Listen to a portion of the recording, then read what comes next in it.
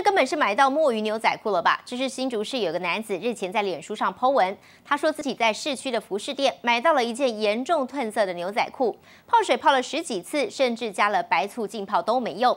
更夸张的是，牛仔裤被雨淋湿之后，他的两条腿啊全被染黑了。夸张的画面也引发了网友讨论，但也有人说中国制造的并不意外。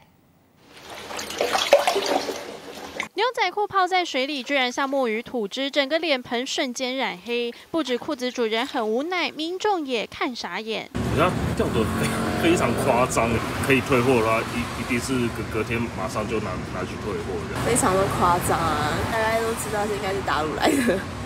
新竹这名男子日前把这件怎么洗都洗不干净的墨鱼牛仔裤 PO 到脸书社团，更表示最近下大雨，穿这条裤子出门，两只脚全被染黑。实地前往贩卖这条牛仔裤的店家，店员只说凭标签退货。我们正常我们都会建议客人用清水泡过之后就好，内标会不会有写公司的名字？